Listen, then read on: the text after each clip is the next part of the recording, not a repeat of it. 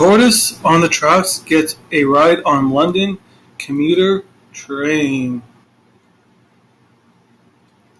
A commuter train near London was briefly delayed when a tortoise was caught trespassing on the tracks, but the animal quickly became a celebrity aboard a train. Network Rail Wessex wrote on social media that a train headed for Bagshot was delayed at the Ascot station because there was a trespasser of unusual nature on the tracks. If you want to read the rest of the story, the link will be in the description below. If you're new here, please hit that like button, hit that bell for notifications. If you want, please subscribe.